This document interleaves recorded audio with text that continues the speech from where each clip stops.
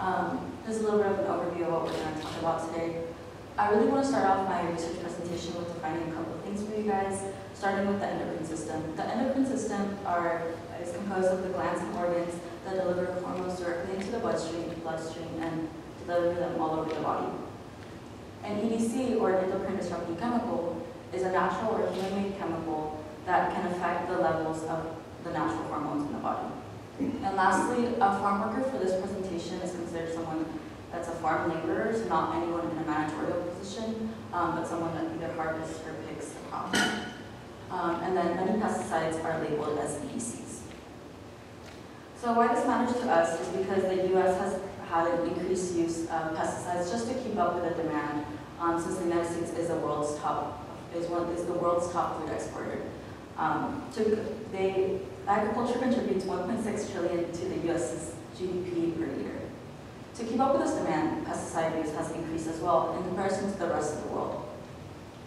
This matters because pesticides use affects um, the body, exposure to the pesticides affects the body in many different ways, such as dermatological, carcinogenic, and neurological. But most importantly, the topic I will be talking about today, reproductive and, and, and endocrine effects.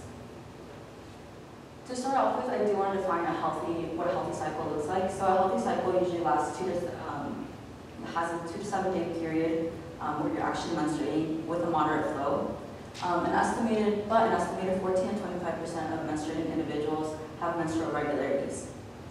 Um, shown here are some of the common um, menstrual irregularities found in the population. So these menstrual irregularities are because of two factors. First, a genetic factor. So genes can mutate the way that organs are regulated, and these organs can be the ones that are regulating the menstrual cycle. And then environmental factors come into play when it comes to EDCs, and EDCs, um, the exposure to them and the length that you're exposed to them can affect your genetics, your genetics and then affect the way that um, your menstrual cycle occurs. Um, so these two are really correlated, but the people that fall in between these two factors are actually farm workers. Farm workers are exposed to both of these factors on a daily basis, both in where they live and where they work.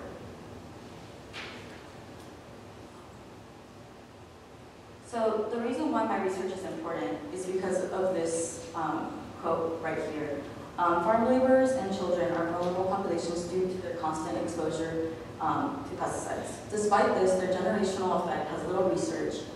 Um, exposures to endocrine disrupting chemicals like pesticides can lead to long-term effects and a predisposition to endocrine disorders. This study aims to research the role of EDCs, their amplification for each generation, and their alteration in menstrual cycle characteristics.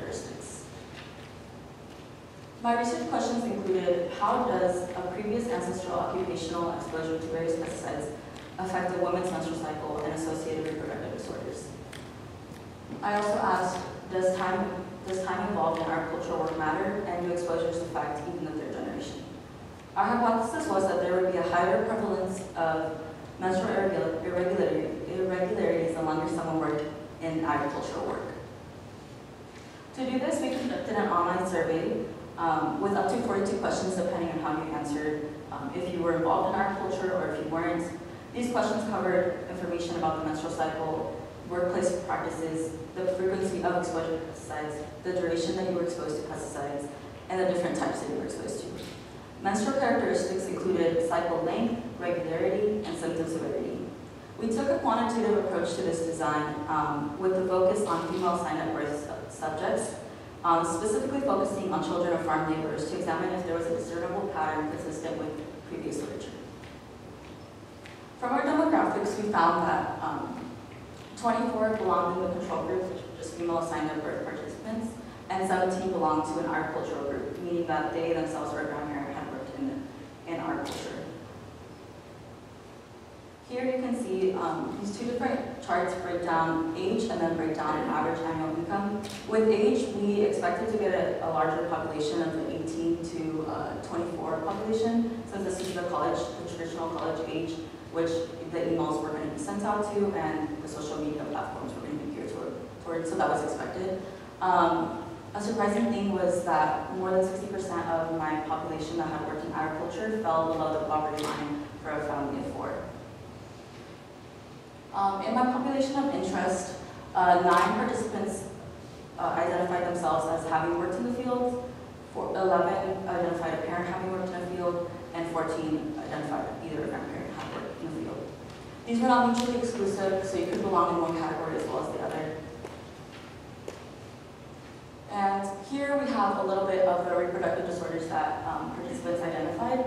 The first four are the ones where agriculture was just, the agricultural population was disproportionately represented. Um, specifically important is that infertility one. Um, it shows that 75% of those that, that identified as having infertility issues were from the agricultural population, which is a really high disproportionate amount of people. To analyze all this data, um, we have to take qualitative questions and be able to um, analyze it. So we created a menstrual dysfunction score to have a consistent measure of which to analyze a dysfunction in the menstrual cycle. So we took the length of a period as well with, with how many, how much blood flow they had, as well as any self-identified menstrual dis uh, disruptions to form the menstrual dysfunction score. Consistent with literature, we did find that the MDS goes up with age. There is a small gap dip in the 36 to 45, um, but generally it does go up. And this can just be because of due to life, lifelong exposure to EDCs that just can accumulate on one another. Next to this is the MDS, the MDS average of the agricultural population compared to the control population. Um, as expected, the agricultural population is a little bit higher. Um, my reasoning as to why there wasn't just a bigger gap is because those that answered the survey that were part of the control group may be already predisposed to endocrine disorders since the only incentive to answering the survey was just to have better um, health, research, so they would be incentivized to answer the survey. So that can explain why there's just a little bit of a gap there. Um, but one of our most significant results was that the higher MDS the higher MDS scores were in those that had worked in agriculture the longest. Um, this is consistent, consistent with literature because the longer you're exposed to pesticide use, the more different pesticides are interacting with one another. And we can also see the generational effect of this as all the participants that had been working in agriculture for more than five years had had either a parent or grandparent working in agriculture. Um, this followed our hypothesis that there would be a generational effect. So um, just reiterating here, um, those who worked in agriculture for more than five years had a disrupted menstrual cycle compared to those that had worked in agriculture less than five years, and infertility was present in this agricultural population. This just shows the need for further research in agriculture population, as well as a higher responsibility for employers as to what pesticides they're exposing their workers to. Um, future research um, would include something on age. As you saw that that there's ch the chart there, there was an increase in age um, and there was an increase in the, the score. So I would also like to look into that, as well as specifically regions such as Salinas Valley, California, that's a very highly pesticide exposed region, region and I would like to look more at that population and see if there's um, patterns there. Um, so limit, limitations to the survey was the sample size. I did get 60 respond, 65 respondents, but only 41 of those responses were viable data that I could work with and only 17 were part of the agriculture population. So in future research, I would like to have a larger sample size to be able to see more characteristics and patterns. Um, another limitation were there were some broad questions asked in this um, study, but that just shows that um, there's little research already to base the study off of. And um, my research project is one of the first one that just focuses on generational impacts of EDCs. So my questions were a little broad, but in future research, I would like to narrow down now that I know uh, what characteristics and patterns are present in the population. And also the time the survey was live, was live. As mentioned before, this was, was just an eight-week program. Um, so the survey was only live for about three weeks. So we expect that if it's uh, live for a longer period of time, we might get more respondents. Um, and I want to close um, my research project by really touching on this quote here. Um, they weren't aware about what pesticide was and all the harm it could cause them. They were just going home to make um, money for their families. Awareness of informed consent is missing in the agricultural community with agricultural workers. Even if there is consent, um, these people are only are forced to be exposed to EDCs because that is the only way of living. Um, this research can help inform lawmakers and employers the dangers of constant exposure and would hopefully create a better experience for farm workers where the altogether ban of certain, of certain pesticides that are high toxins for the human body. Um, for this project, I would like to thank the McNair program for all of their support. Um, I've been in the McNair program for about every year I just receive so much support from everyone. Um, I would like to, thank- to thank Dr. Emily Hills uh, for all her guidance and all her support, as well as my family and friends for um, encouraging me throughout those long nights of research. Um, and I'm now open for questions.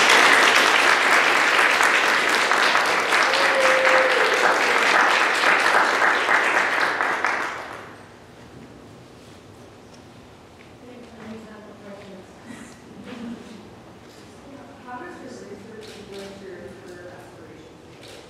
Um, so actually, this project made me think a lot about like what I want to go into, and I think I want to go into hormone research and um, specifically these underrepresented um, communities.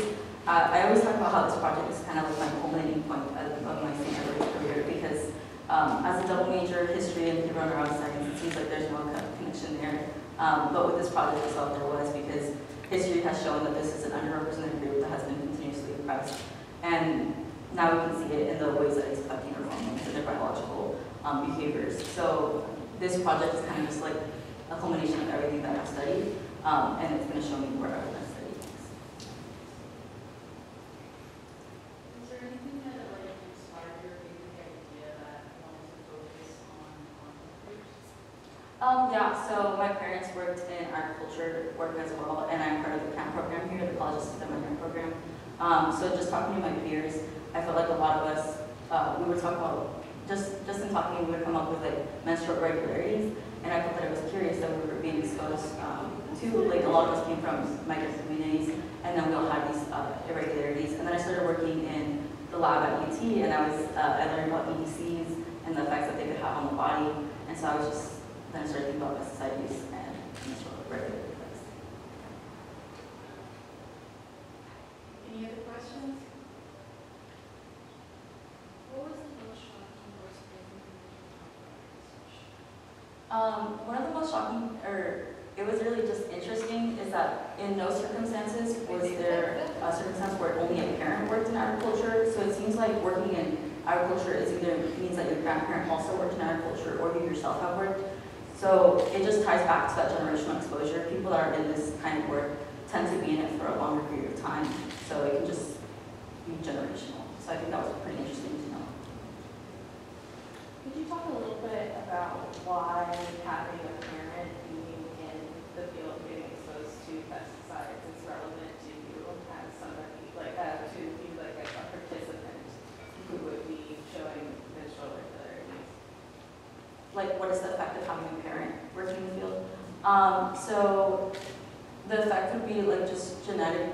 Your, if your parent is exposed to EDCs, this could be changing the way that their body is functioning and could later they could later pass it down to you. Um, specifically, this would be most important during a, like a perinatal period where um, if your mother is like pregnant with you around the time she's exposed to, exposed to EDCs, um, it's more likely that, that that EDC will transpose like the, the blood-brain barrier and the placenta and be able to pass down to you. Um, so that's why it's really important as to the time period that your parent is being exposed to EDCs. Um, and then just after that, if it's um, we, if we see an effect in the third generation, that's extra important because it shows that it wasn't just your parent passing it down to you, but now it's something continuing in your bloodline